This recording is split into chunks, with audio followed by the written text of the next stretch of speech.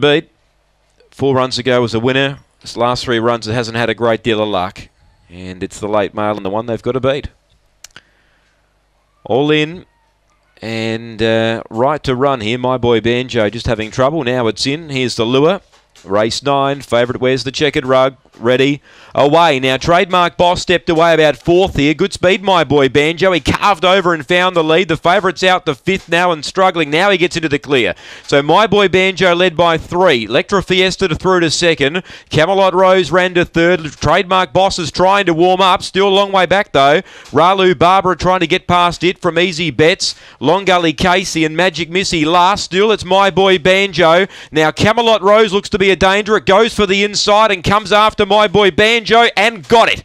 So Camelot Rose defeats my boy Banjo. Trademark Boss Grand third. Fourth might be Electra Fiesta from Long Gully Casey, Magic Missy, Easy Bets, and Ralu Barbara last in. The time uh, 31.57 for number three. Camelot Rose, Kev Bewley, the winning trainer, has run down my boy Banjo right on the peg. Trademark Boss runs third, got into clear down the back, but couldn't pick them up. One's got fourth Electra Fiesta. 3 8 2 and 1. 328 early, 1621 off the back, and the run home was in 1536. 31.57 the time, and it's 3 8 2 and 1. 31.57 the time here. And uh, winner number three, Camelot Rose, Kev Bewley.